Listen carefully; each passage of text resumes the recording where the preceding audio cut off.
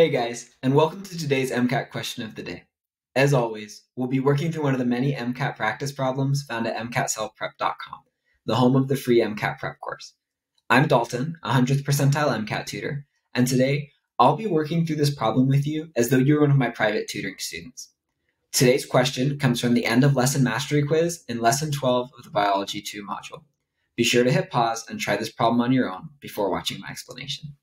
So to really ace this question, we need to understand the fetal circulation system, which can be confusing at times because it's a little different from an adult circulatory system. And so I want to explain it to you in a way that's going to help you remember. The number one thing that you should remember with the circulatory system, especially the fetal circulatory system, is that arteries start with A. And so arteries are always going to take blood away from the heart. It doesn't matter if that blood has oxygen in it or not arteries always take blood away from the heart. That's the key there. Whereas veins are going to bring blood back towards the heart. So in this case, the fetus is going to get via the umbilical cord, it's going to get oxygenated, oxygenated blood from the placenta. And that oxygenated blood is going to come through here in this umbilical vein. And this is really confusing for us because we're used to veins not having a lot of oxygen in the blood. But it's a vein because it's taking blood towards the heart. That makes it a vein.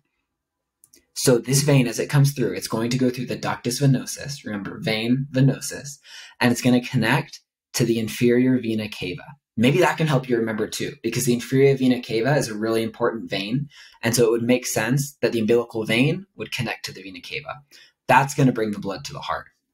Then what's going to happen is that blood is going to get pumped into the aorta and through here as well, but via something called the ductus arteriosus, it's going to bypass the lungs because the lungs aren't working. There's no oxygen, there's no air essentially floating around in the womb. And so the lungs aren't being used. So it'll bypass it.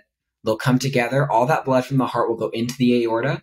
And remember, away from the heart, it's going to come into the umbilical arteries. And the umbilical arteries, away from the heart, carry that deoxygenated blood back to the placenta where it can be reoxygenated. Kind of confusing. Hopefully that helps you keep it straight. With that knowledge, let's go tackle this question. So, this question is essentially asking us how does oxygenated blood get to the fetus? We're going to want to remember what we were just talking about. Let's go ahead and work through these answer options. We'll start with the first one. The umbilical artery brings blood towards the fetal heart. Uh oh, that's a red flag right there because remember, artery, A for artery, A for away, it's going to bring blood away from the heart, not towards the heart. That's always the case. Okay. So that's going to be incorrect. Next, the fetus performs gas exchange at the level of the fluid filled alveoli. So, alveoli, those are in the lungs. There's gas exchange happening there in a normal person as they breathe in, they breathe out. But remember, the fetus in the womb is floating in liquid. So, the lungs aren't being used in that way. That's going to be incorrect as well. We'll skip this third option for now. We'll come back to it.